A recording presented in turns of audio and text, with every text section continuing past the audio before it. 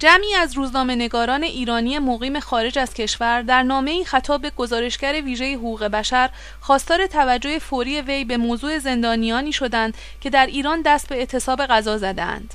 این روزنامه نگاران ایرانی در نامه خود به احمد شهید خاطر نشان کردند.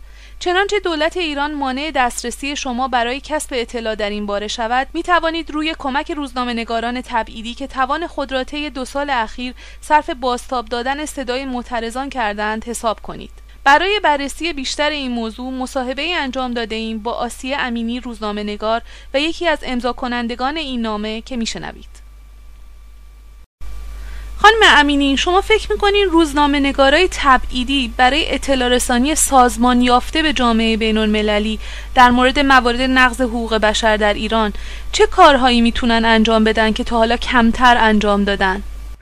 ببینید من قبل از اینکه به در واقع توان بالقوه روزنامه نگاران بخوام اشاره بکنم لازم هست به این مسئله یک یادآوری بکنم که شاید در سالهای اخیر چه قبل از انتخابات 88 و چه بعد از اون بیشترین اطلاع رسانی که در زمینه نقض حقوق بشر در داخل ایران شده توسط روزنامه نگارانی صورت گرفته که در این حوزه ها فعالیت می‌کردند. یعنی اینکه اگر جهان صدای در واقع مظلومیت قربانیان خشونت سیاسی و غیر سیاسی در ایران رو شنیده. این در واقع حاصل زحمت بسیاری از نویسندگانی هست که در این حوزه تحقیق و اطلاع رسانی می‌کنن و بخش عمده ای از اونها رو روزنامه نگاران تشکیل میدن.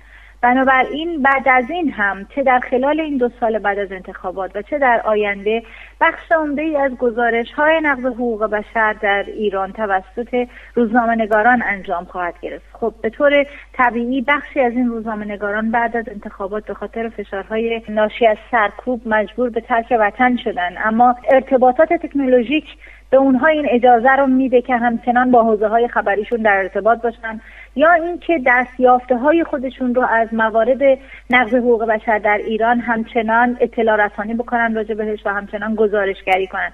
بنابراین حتی اگر یک گزارشگر بیطرف بین المللی به عنوان یک ناظر دستش کوتاه باشه از وارد شدن به ایران یا از تحقیق فردی یا نهاد خودش در مورد یک حوزه خاص این گزارشگران داوطلب حقوق بشر که بخش عمده از اونها روزنامه نگاران هستند می‌تونن اطلاعات جمعآوری شده خودشون رو در اختیار گزارشگران ویژه قرار بدن.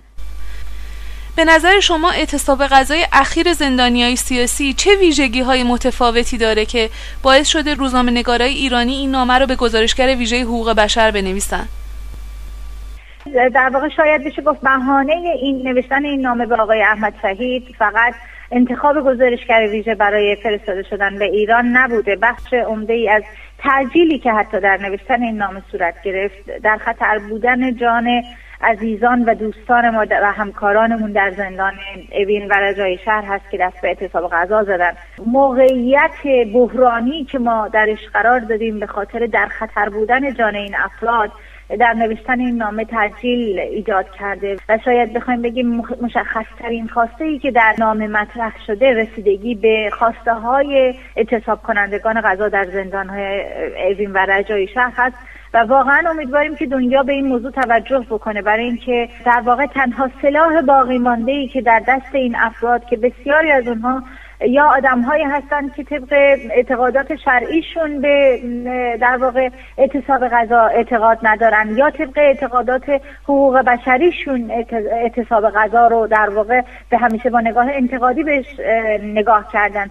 با این حال ببینید اوضاع چقدر بد و چقدر بر اینها تنگ شده که تنها راه شنیده شدن صداشون رو در واقع در دست گرفتن جانشون دونستن. و این واقعا مهم هست که ما توصیه گرانه و نصیحتگرانه به این افراد نگاه نکنیم که چرا اعتصاب غذا کردن یا چرا اعتصاب غذاشون رو نمیشکنن. باید جای اونها باشیم که بخوایم تصمیم بگیریم. بنابراین من فکر می‌کنم شاید بهترین چیز این هست که در عین حال که آرزو بکنیم همشون سالم از این اعتصاب غذا بیان بیرون اما در واقع فشار رو جای دیگه بذاریم که به خواسته های اونها توجه بشه.